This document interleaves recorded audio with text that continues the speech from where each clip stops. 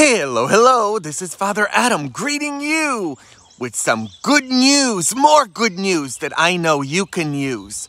When I was super depressed with all these thoughts of taking my life, they couldn't find the right medication to give me in order to help me.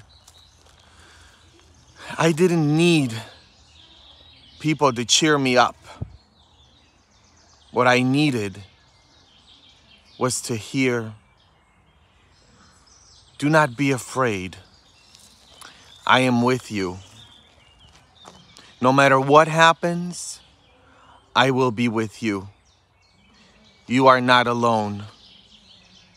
I will not leave you. We are in this together. People who are sick, whether it be with depression or with cancer or with something else that they are dealing with, they do not need any empty words to cheer them up. What they need is presence. I needed presence. That's what God offers us. And that's what God invites us to offer each other. Be not afraid, for I am with you, says Jesus, and He wants you, you who are His presence, to those around you, because you are Jesus's body. He's got no other hands but yours, no other feet but yours, no other mouth but yours, no other eyes but yours, no other hug but yours, no other kiss but yours, no other presence but yours. You are His presence. You are the temple of God. Hmm? He is presence in our life, and He wants us who are made in His image and likeness. If you want to see God, look in the mirror. And if you want to see God, look at another person. We all image God. We receive the body of Christ when we go to Mass to be the body of Christ. So we are to be the body of Christ for each other, be His presence. I'm speaking right now with a 22 year old young man who is dying of cancer. And he says to me, Father Adam, I can't die. I can't die. And I said, Well, why can't you die? And he says, Because my mother says to me that if I die, it will kill her. My mother says that it will destroy our family, that it will be the end of our peace, that it will ruin her she's not giving him permission to die.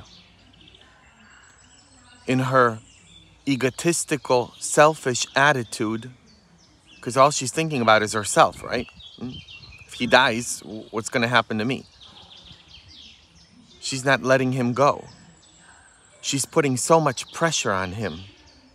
This young man he says she's on top of him all the time saying, eat, eat, eat. He says, because he has throat cancer or it has metastasized all over his body and he's got cancer in his throat as well. And he says, I can't eat. And she's on top of me with food all the time. You gotta eat, you gotta eat, you gotta eat.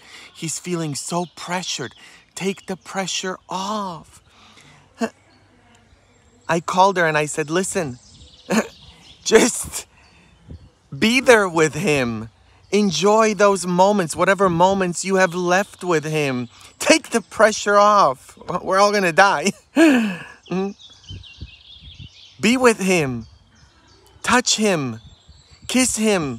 Enjoy those moments and tell Him it's okay. We're all going to be one day together anyway in that new place that God has prepared for us called heaven, where there is no more cancer, no more anorexia.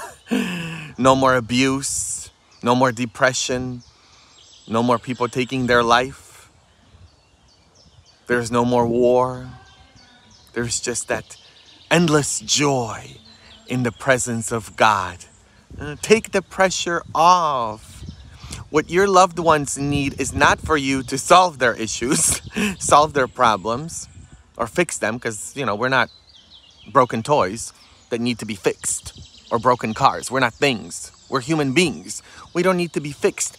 We need to be accompanied. For somebody to be with us. To say, huh, it will all be fine. Huh? I'm with you. God is with you.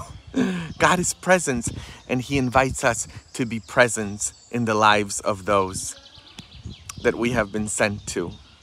This is Father Adam Kotas with more good news that I know you can use. Mwah.